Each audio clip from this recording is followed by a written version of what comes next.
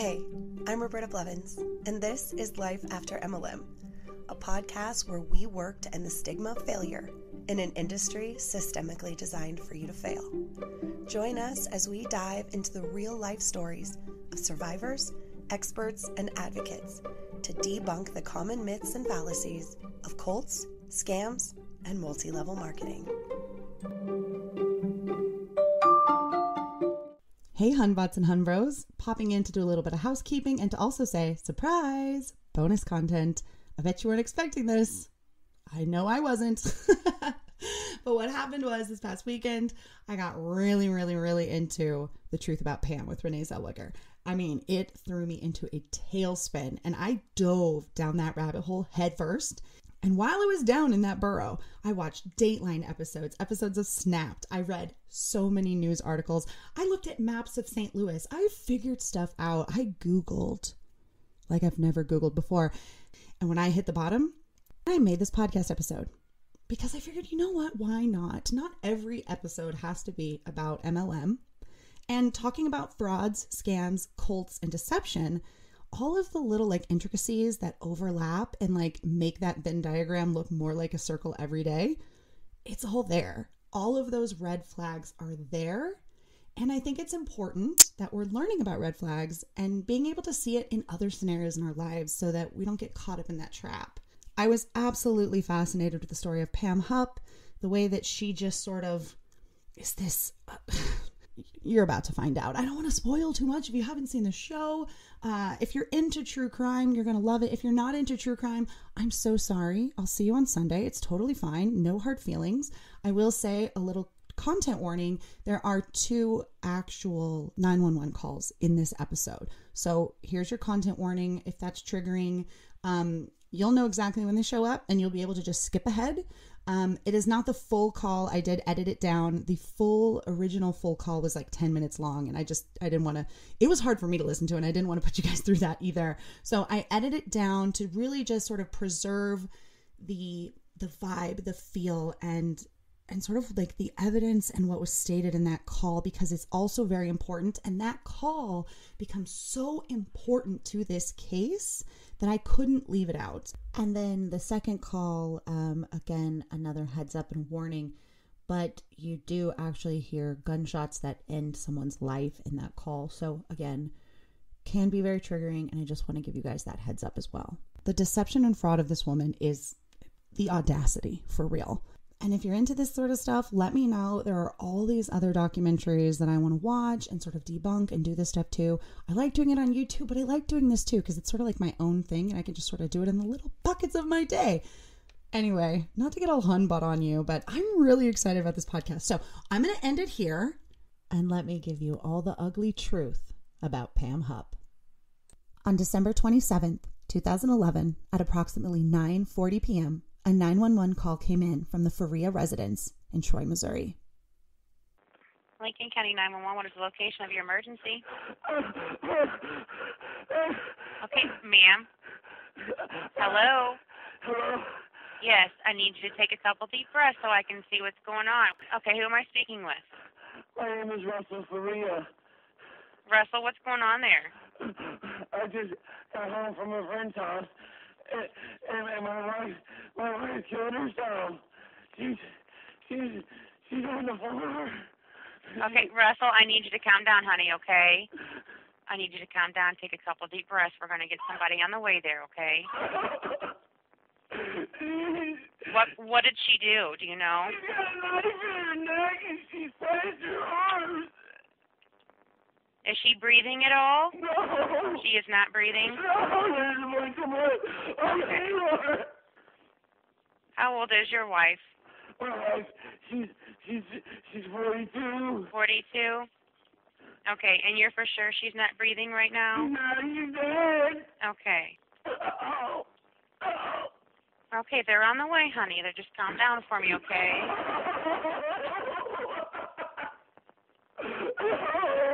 Russell, how long were you gone today? I, I, I left around five. I just got back. But she was at her mom's, and her friend was bringing her home, so I don't know what time she got home. Has she been depressed lately? Oh, she's got, she's got, she's got, she's got cancer. She is, but she does have cancer. Yeah. I don't know what Where, where. Russell? Where's the knife now? It's, it's, it's, it's. I'm sorry, I didn't understand what you said, hon. It's. It's laying right next to her. No, it's in her neck. It's in her neck. Okay. oh my god. Why would she do this to me? Why would she do this? Russell, they're on the way, hon. Okay, they'll be there shortly. Is there anybody else there in the house with you? No, no. There's nobody else here. I don't know what I'm gonna do. Is she on any? Was she on any medication? On medications her chemotherapy. And she's been doing the chemotherapy today. Okay, can you do me a favor? What I need you to do is I need to get those. I need you to get those medications for the paramedics. Okay. I think they're here on the table. Yeah, we have we have everybody coming to you. Okay. No. No. Okay, where is she in the house? She's she's she's on the room. In the living room. Okay. Where are you right now?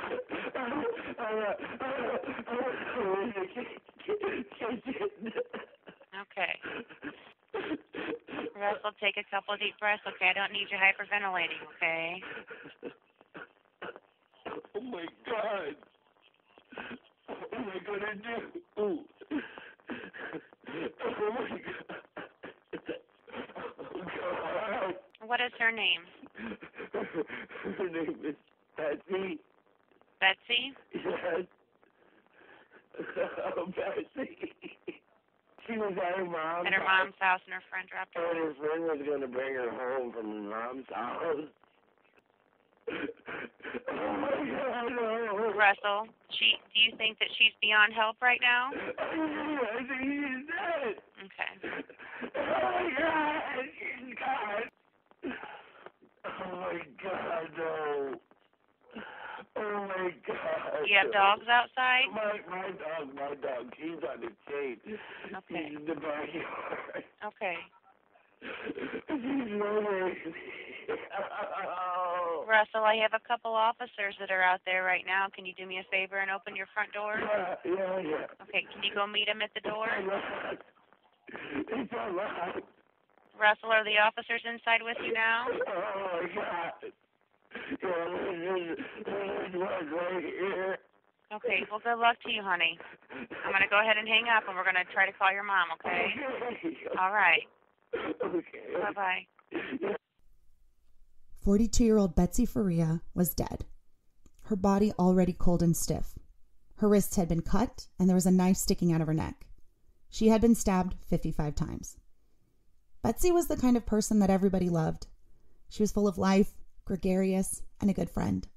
She was a mother of two girls, Leah and Mariah Day, and a wife to Russ for 11 years. He was a loving and caring husband and stepfather. They met when Betsy was picking up shifts at a local gas station while running her own DJ business that she had started at 18 called Party Starters. They were married in 2000. Betsy had also previously worked in insurance at State Farm. It was at State Farm that she would first meet Pamela Hupp. In fact, Betsy trained Pam and taught her everything she knew about the insurance business. In January 2010, Betsy was diagnosed with breast cancer and reconnected with her former coworker. Pam started helping Betsy and would take her to chemo treatments. It looked like Betsy had beaten the cancer and was planning a celebration vacation for winter 2011, but the cancer unfortunately came back, spread to her liver, and was terminal. Around noon on the day of the murder, Russ texted Betsy to let her know he would pick her up from her mother's house after his game night with friends. She had been staying there after a chemo treatment that afternoon. Betsy agreed, but later texted back saying that Pam would take her home instead. At 7:05, when Pam drops off Betsy, they call Pam's husband Mark, but he doesn't answer, and Betsy leaves him a holiday greeting on his voicemail. Russ worked from home that day until around 5 p.m. He left the house to run some errands and to go to his weekly Tuesday night game night. He got gas, cigarettes, dog food, and two Snapples. He got to his friend's house around 6. They were going to play Rolemaster, a role playing card game that's sort of similar to Dungeons and Dragons, but different, and I don't know why or how. But they didn't have enough players, so they watched movies instead. He left his friend's house around 9 p.m. and swung by Arby's on his way home for some junior cheddar melts. He arrives home at 9:40, drops the dog food on the ground, finds Betsy, and calls 911. That call will become the basis for many opinions and speculative theories. First was the mention of suicide. Perhaps Russ assumed suicide because the previous conversations and attempts that Betsy had had in her past. I would think that a murderer wouldn't intentionally lie about knowing it was a murder and would have said something like, She's been stabbed on the 911 call instead, because anybody who examined the body could tell it wasn't a suicide. Maybe made to look partially like one, but the grisly scene looked more like an intense crime of passion than a suicide. The body had coagulated and dried blood, and the fire captain and EMS supervisor on the scene both concluded that Betsy had died more than an hour earlier. The autopsy revealed that her wrists weren't just slashed, the knife had been driven all the way to the bone. It had sliced into her skull, plunged into her left eye, and lacerated her throat, bursting the right carotid artery. There were deep punctures in her abdomen, perforations in her lungs, liver, and spleen. The 55 stab wounds were mostly post mortem, methodically placed to make it appear as if it was a domestic crime of passion. An initial search of the house turns up a pair of Russ's slippers that have large spots of blood on the tops and sides in his closet, and a bloody smear on a light switch with a fabric impression. Cops believe there is evidence of blood cleanup in the kitchen and take photos of the crime scene. At the police station, Russ is interrogated and held for 24 hours. He never asks for a lawyer and maintains his story and innocence the entire time, despite intense interrogation and questioning. Some of the suspicious behavior being shown by Russ included being visibly upset but having limited tears. His surges of emotions were too over the top. He hadn't embraced his wife's dead body. He was sobbing and praying in the interview room, among other ridiculous speculations. They scrutinized his alibi, believing it to be too solid, and that all of his errands were just him establishing a timeline. They schedule a polygraph for the next day, and Russ fails it. The police interview friends of Betsy, and Pam confesses that she knows very intimate details about the Faria marriage because she's Betsy's best friend. She claims that Russ is physically and verbally abusive, an alcoholic, and that Betsy was afraid of him. She told officers she felt bad for leaving Betsy there alone that night to deal with her husband's violent temper when he got home. Pam is being very helpful and cooperative with the police giving DNA and fingerprints, and even remembering a silver Nissan Maxima that had been in the driveway when she dropped Betsy off the night of the murder. She claimed Betsy didn't have her keys because Russ had told her not to bring them. First, she claimed she didn't go inside. Then she did, but only to turn on a light. And then it was to just go to look at a Christmas present that Betsy had received. When she left, she said Betsy was tucked in blankets on the couch, but then later said that she may have still been on the couch, but today it makes sense that she walked me to the door. She told the police that she called Betsy at 7:27 to tell her she was home and then corrected herself by saying almost home. Cell phone records show she was still within 3 miles of Betsy's house at that time.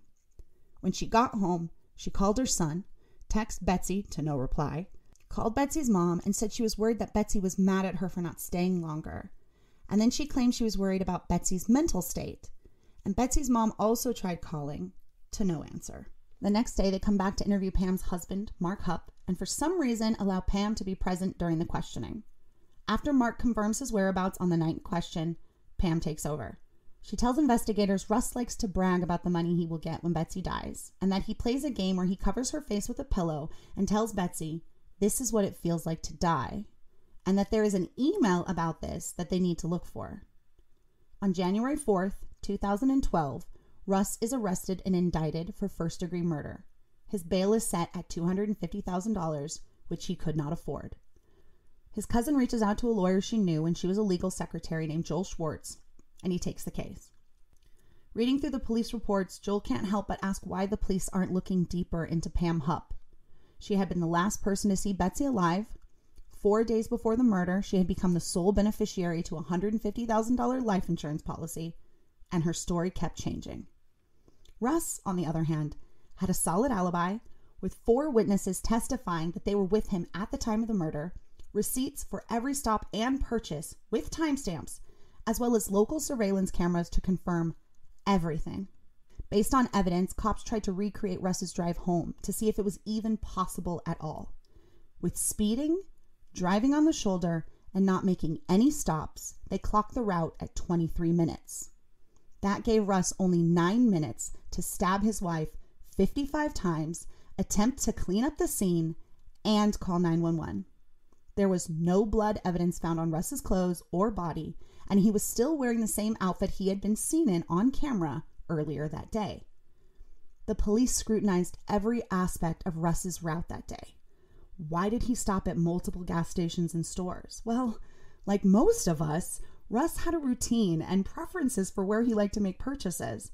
The gas station he went to sold his cigarettes for cheaper, and he had a rewards card for the pet food. But what about the slippers, the ones that seemed to be dipped in blood and planted?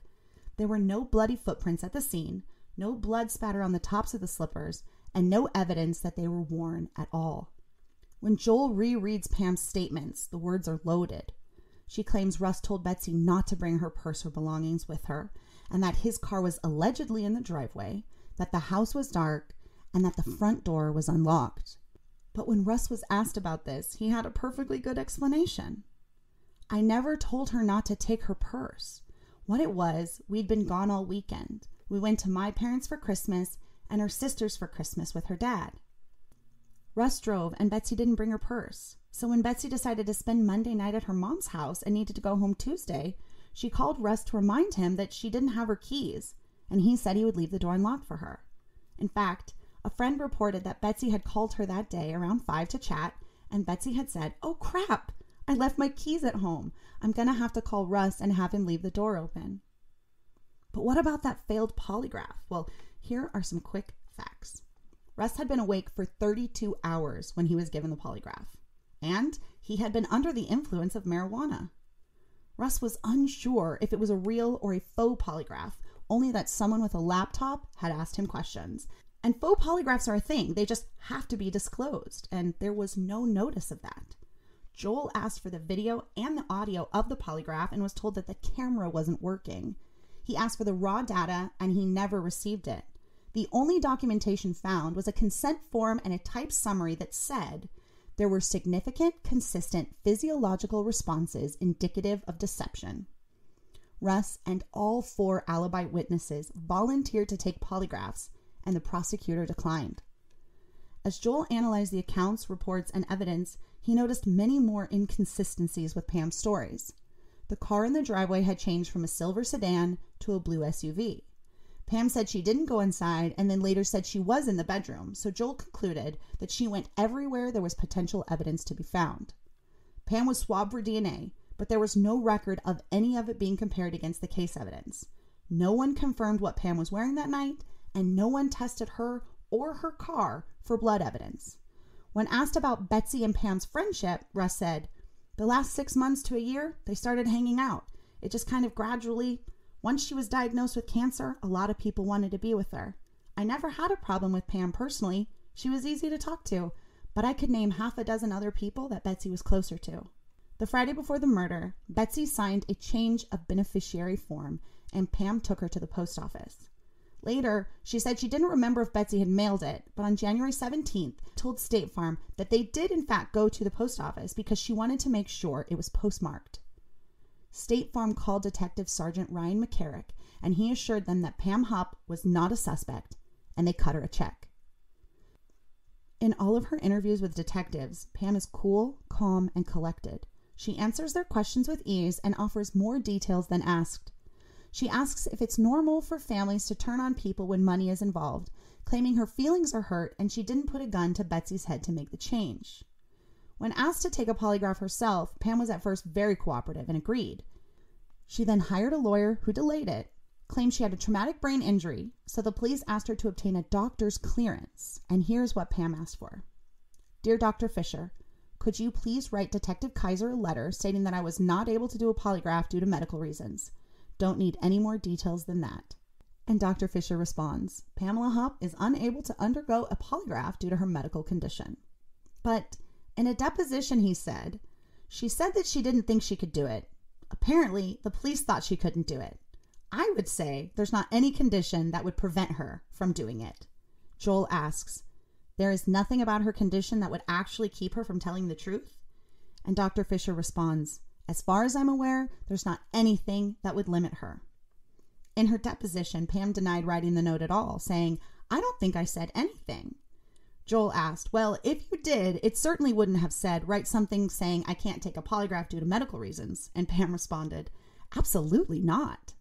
When Joel deposed Detective McCarrick, he said, Based on training and experience of dealing with hundreds of interviews with suspects and with witnesses and with victims, I did not see any signs of deception that would lead me to believe that she was indicating anything that was untrue to me.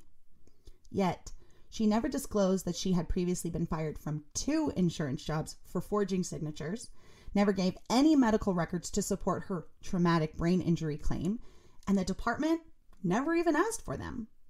When deposed by Joel, Pam claimed to not know what her disability was, only that she had tripped at work and had hit her head on a filing cabinet in November of 2009. Pam claimed numerous injuries, including traumatic brain injuries and chronic pain in her back, neck, and legs, rendering her unable to work. She collected disability checks monthly, and when asked in his deposition, her husband was unaware of her injuries or how they happened. She knew she had an injury, but not what kind, and only knew she had memory issues because she couldn't remember things.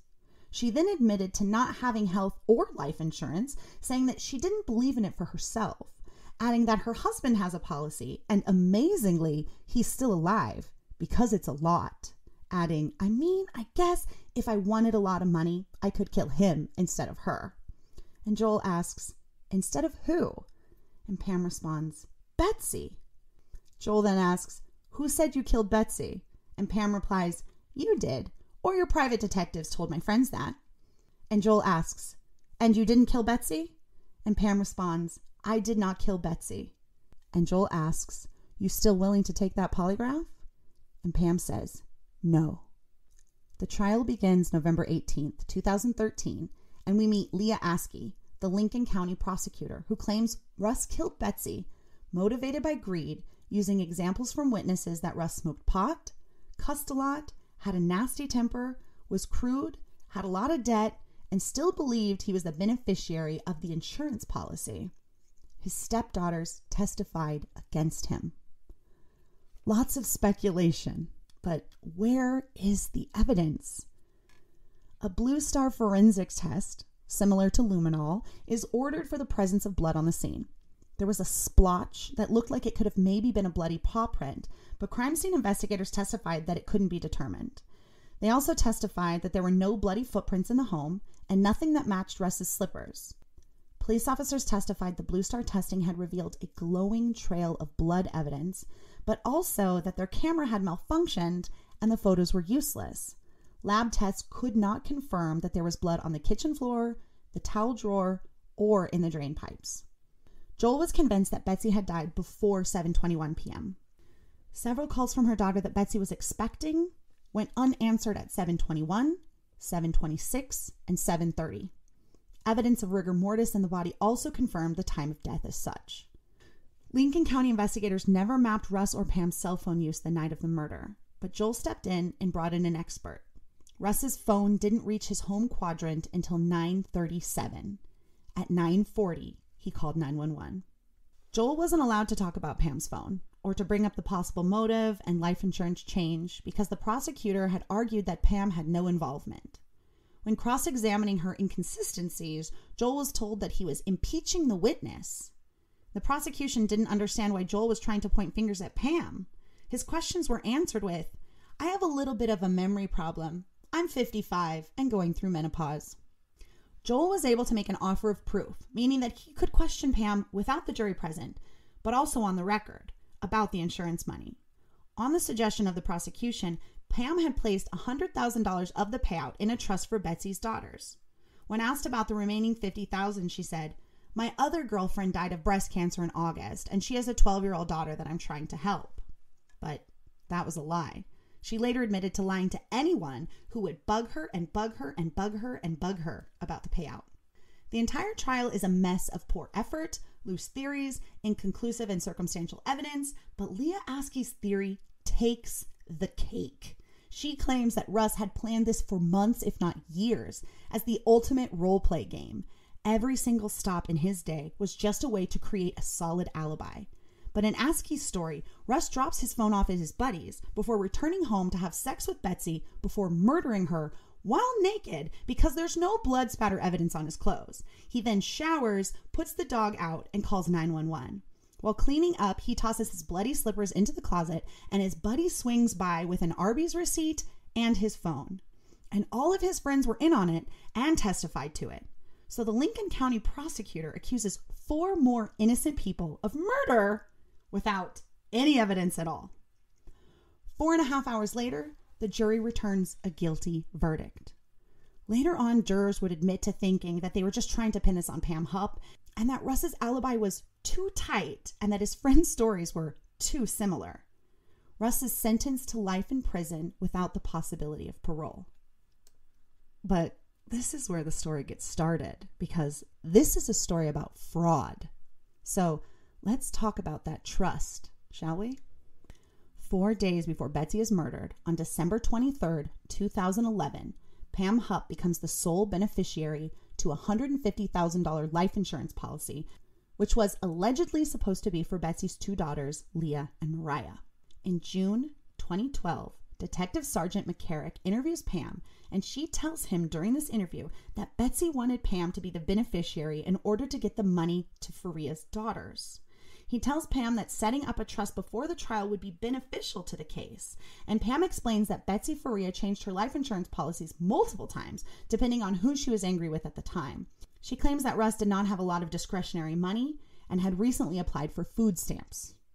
A year later, in June 2013, Pam sets up the trust. She funds the trust five months after that, right before the trial starts. On October 31st, 2013, Pam's mom dies mysteriously, but more on that later.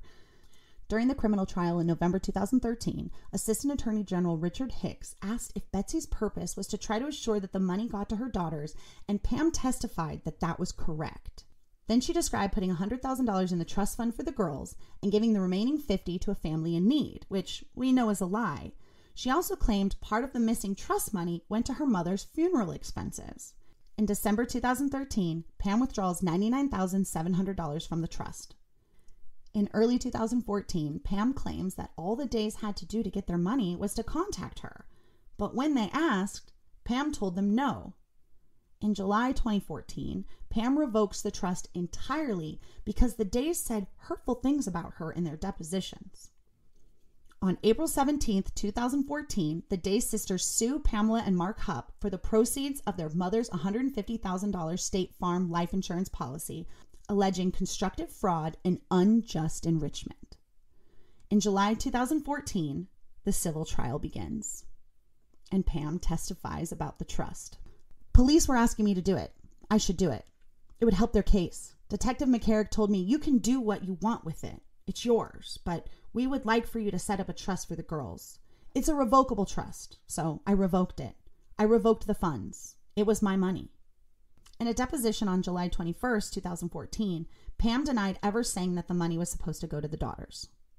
Pam was financially driven, but cheap. She claimed that she was debt free and that $150,000 was not that much in her world.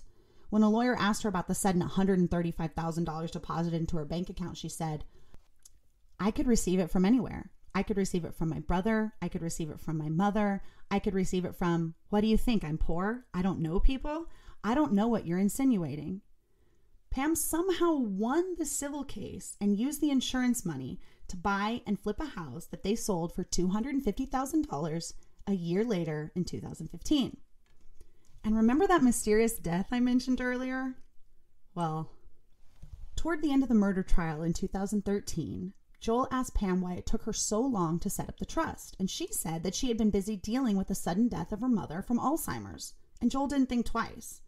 But Pam's mom, Shirley Newman, didn't die from Alzheimer's. She died from blunt force trauma to the chest after falling off her third floor balcony while having eight times the limit of Ambien in her system. At 5 p.m. on October 30th, 2013, Pam dropped her mother off at her assisted senior living facility where she lived alone. Shirley was 77 years old and suffered from dementia and arthritis.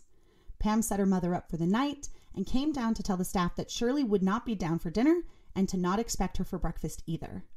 Shirley was found the next day, on Halloween, at 2:30 p.m. underneath her third floor balcony. The railing had broken. A retired homicide detective said that the railing looked like it had been kicked out, and tests to replicate the accident were inconclusive.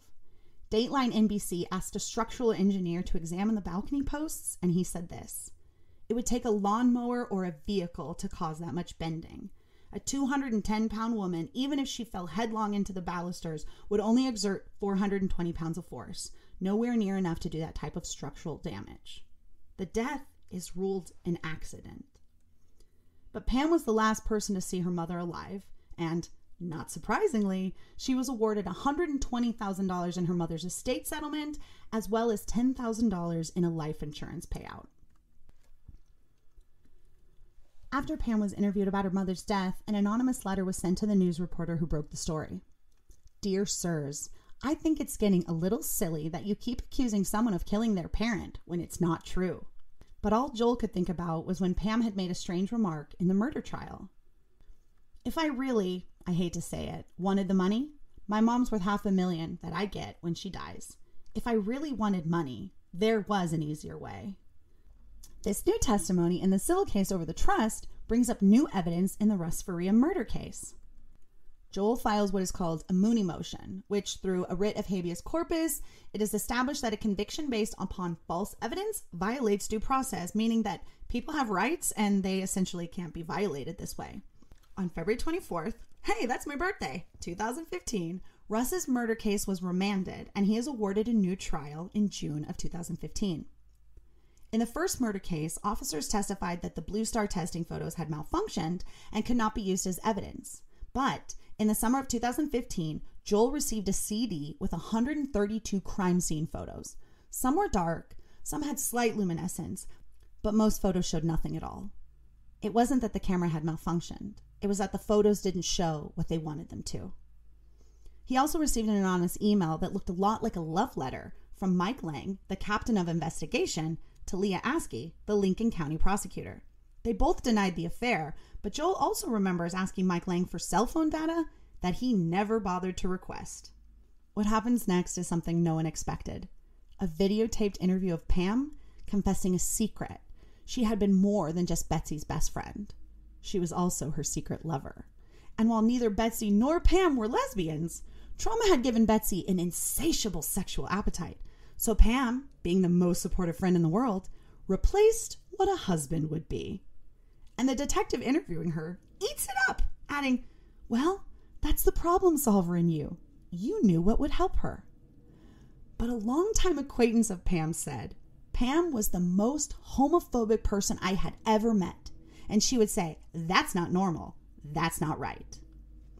In the beginning of the investigation, Pam had told detectives that she barely knew Russ at all. But with her new lesbian love affair plotline, she had new information. She now claimed a month before the murder, Russ had come home and found them together. Pam claimed he pushed her up against the wall, and she mentions remembering the spit flying from his mouth as he told her, If you ever come over here again, it'll be the last time. If you two fucking muff bumpers, if I ever catch you guys again, I'm gonna bury you in the backyard. Four months later, in October, Pam remembered another detail about the night of the murder. She remembers seeing Russ at the crime scene, even though three years prior she had testified that she hadn't. She blames head trauma and Ambien for her memory loss, but explains to the detectives the more that she talks about it, the clearer it gets. But during the civil trial, when she was asked if she had any memory problems, she testified no. People like Pam make the best liars. When caught in a lie, she deflects brazenly.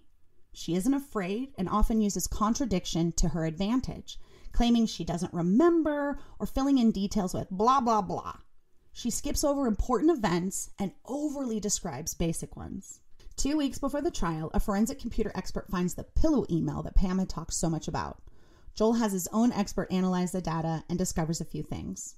One, it was the only document on the laptop with the author listed as unknown. A fragment of the same text was associated with Microsoft Word 97 software, which was not on Betsy's laptop. Her laptop had been connected to a Wi Fi network called The Club the day Pam watched Betsy play tennis. The Microsoft Outlook email application had been opened at the same time, but because Betsy didn't use Outlook, it wasn't configured and the document couldn't be emailed.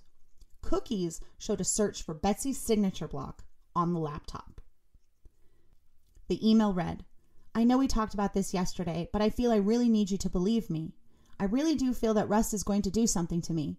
He continued to tell me how much money he would make after I die. Last night was the worst. I fell asleep on the couch while watching TV and I woke up to Russ holding a pillow over my face. He said that he wanted me to know what dying feels like. I need to change my life insurance.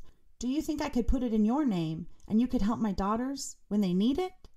If something happens to me, would you please show this to the police? This email right here contradicts her testimony that she believed that the money was never for the daughters. It's just it's insane. Anyway, Pam is deemed not a credible witness, obviously, and is never called to take the stand. Experts testify that the slippers looked to be dipped in blood and planted, and the judge deliberated for two hours, pronounced the Lincoln County investigation rather disturbing, and read his verdict acquitted. In June 2015, Russ Faria is a free man. With Askey unwilling to look at Pam as a suspect, the case goes cold. A year later, on August 16, 2016, a 911 call is placed at the Hupp's residence. 911, what's your emergency? Hey, hello, there's someone broken in my house. Help! What's the address you're at? Help! What means can you do you? What means you your wife? No, I'm not getting in the car with you. No, get away. address? Get out, get out, get out. Ma'am, What's the address you're at? Uh, Help! Help! There's somebody breaking in. No, no, no, Hello? help! Help! Ma'am, can you hear me? Help! What? Pam claimed there had been an intruder and she had shot him to death in self defense. In his pocket, police find a pen, $900 in sequential $100 bills, and a note instructing him to get Russ's money. Pam claimed she had just come back from running errands when a silver colored sedan pulled up and a strange man jumped out and got into her car.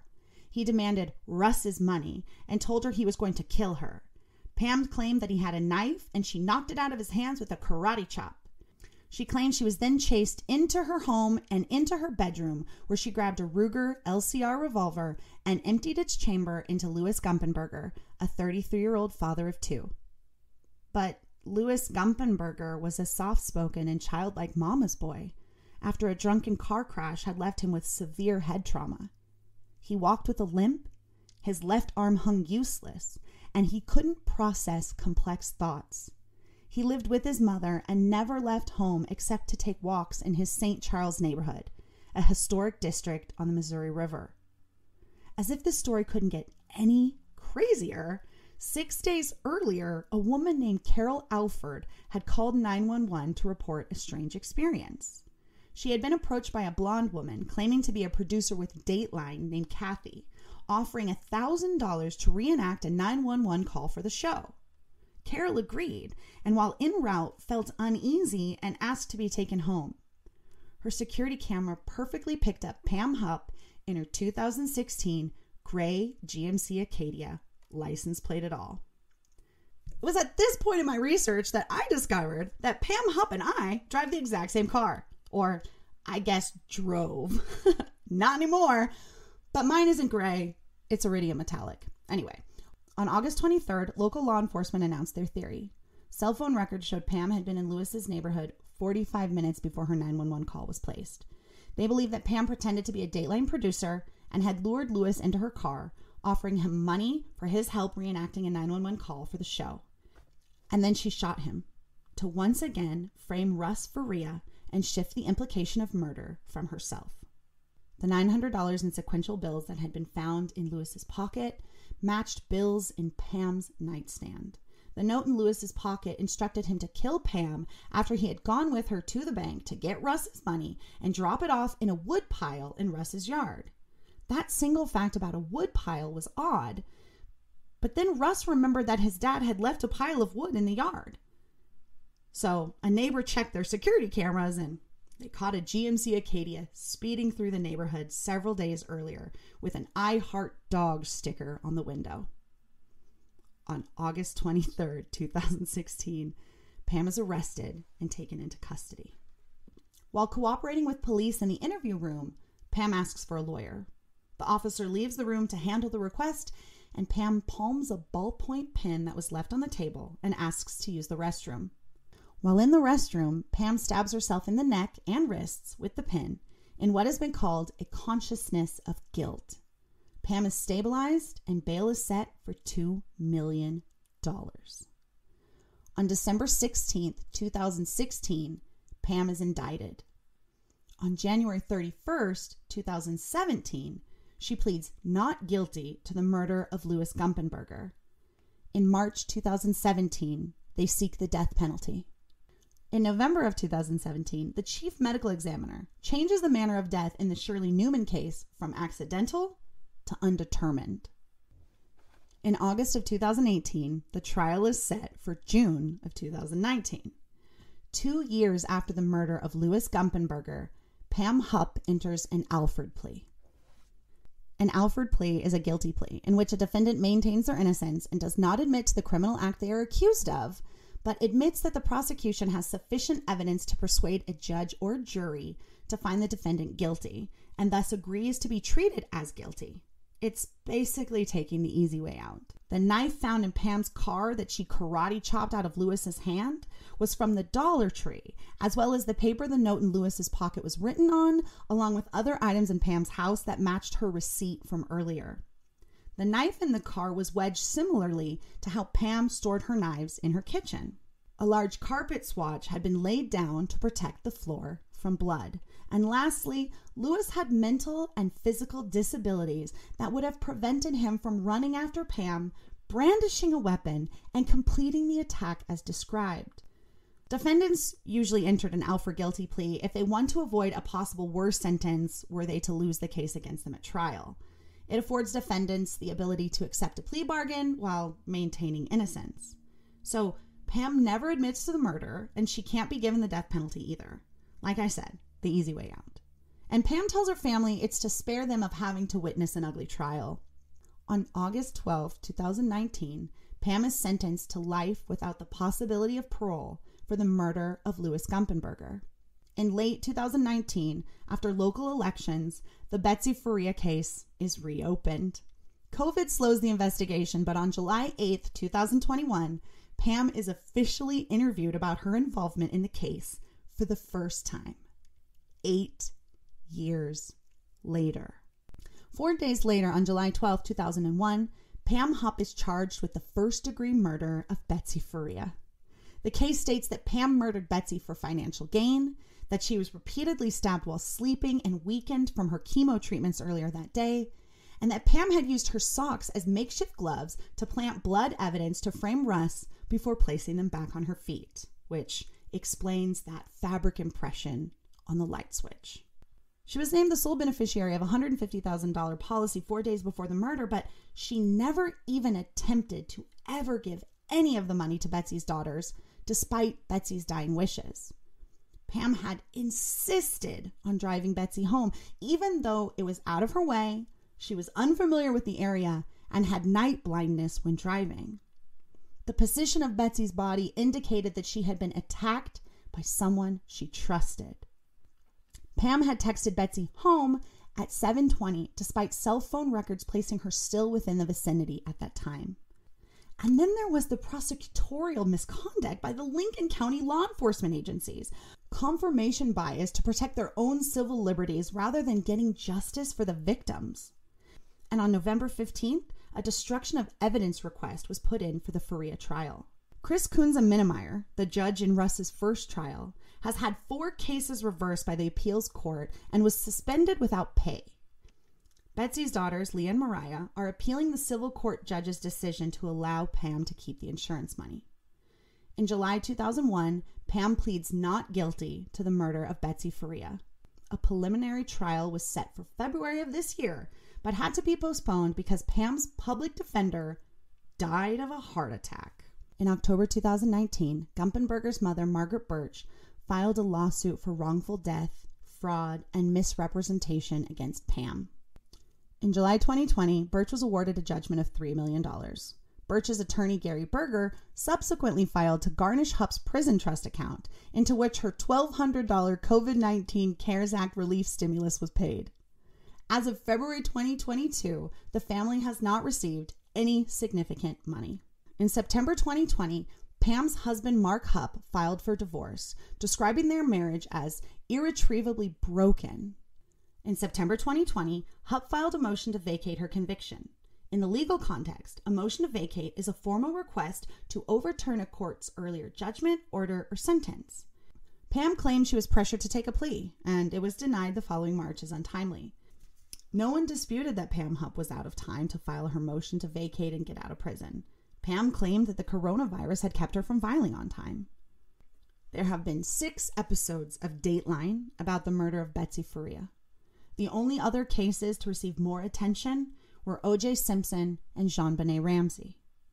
St. Louis's Fox 2's Chris Hayes had covered the story for over 10 years, generating more than 60 stories on the case. And in May 2020, NBC announced that they were going to be making a six episode miniseries called The Truth About Pam. It aired in March 2022, and I cannot recommend it highly enough. A book about the murder of Betsy Faria by Joel Schwartz and Charles Bosworth Jr., Bone Deep, Untangling the Betsy Faria Murder Case, was published in 2022. And that's where we're at. So, yeah. About a week ago, I watched the, the Truth About Pam with Renee Zellweger, um, and I was fascinated. I don't really report on true crime, right? Like I've talked about MLM true crimes and things like that, but I don't really report on true crime. But this case was just so full of fraud and lies and people just ignoring evidence and ignoring truth for their own confirmation bias. And it's just it's in that space. And i just i felt so compelled to learn more about this case. And then uh, the more that i learned the more articles that i read the more datelines that i watched the more things that i found. And to me it was just such a wild case of just believing somebody so blindly without actually having any facts. And to me, that's incredibly dangerous. Um, and so I wanted to share it because one, I want to create bonus content, and this is something that I'm very interested in. And two, it's fraud. And the Venn diagram is really close to being a circle. There's so many similarities between this and cults and MLMs and other frauds and scams that we've seen. And so, you know, reporting on it and, and talking about those similarities, I think for me is is something that I'm really passionate about and um, I like to push that education forward. So, if this is something you guys like, let me know. I will do more bonus content like this on Wednesdays. Uh, Sundays are still reserved for survivors, but let's do some bonus content. So, if there's any stories that you guys are like, oh my gosh, you have got to listen to this broadcast, you've got to check this out, let me know. Hit me up, email me. I would love to do a bonus podcast episode on a story that you send me. I would absolutely love it. So, thank you for listening. I hope you enjoyed and we'll see you Sunday.